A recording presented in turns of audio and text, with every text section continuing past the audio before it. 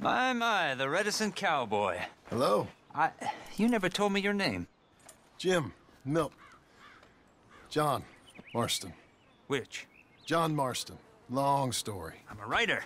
I love stories. Uh, another time.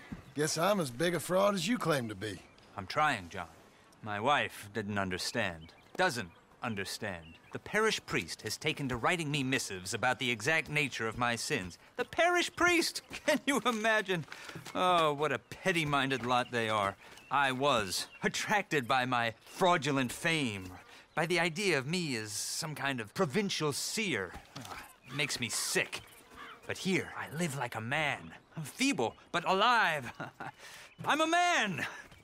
For the first time in my life, I'm a man. Okay. Or I'm still a coward, but a real man would happily die rather than live as I do. Uh, I don't know about that. We... We're all scared of something. Something within us. But me, I'm nothing but fear. Fear and doubt and lies. Just a glimpse of how other men have coped and lived and survived and flourished. There are days when I sit here and weep about all the things that I've lost. We've lost. We, true Americans, we peasants, we are killing this place, John Marston. Killing what? This, this great beauty, this truth. What are you talking about? Come. Let me show you. Where are we headed? Prepare to be shocked.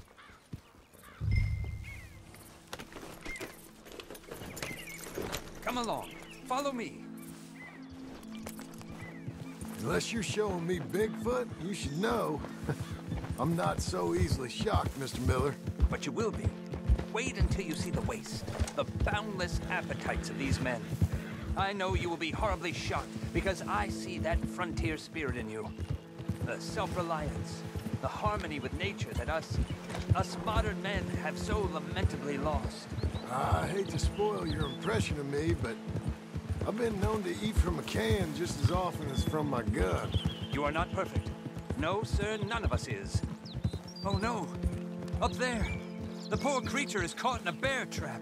John, can you do something? Uh, let me see. The cruelty of it. If you could pry it open, it Stay may calm.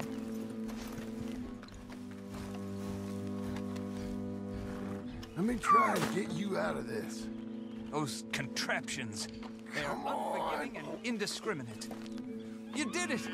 It's free! A second chance at life. Maybe. Long as that wound don't go bad. Still, better to die free than in the jaws of a machine. Now, come on.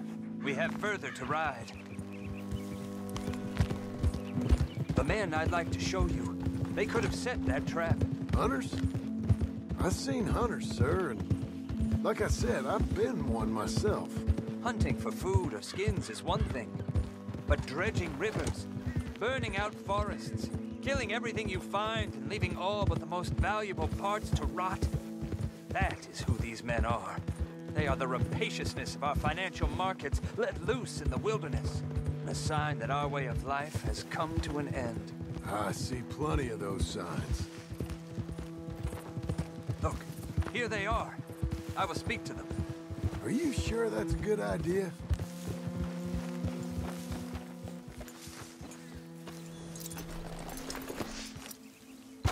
You men are heathens! Ignoble savages! Animals! Shit, look! Look at what you... You... You're... You're... Hey! Huh?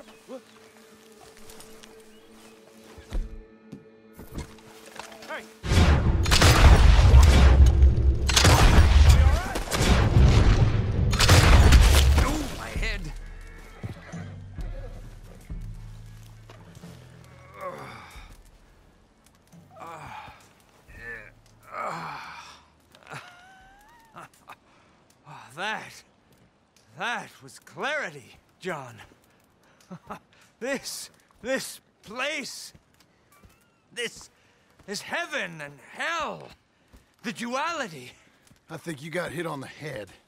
Come on, let's get you out of here before more of them show up. But I think we've made our point. Now, come on, let's go.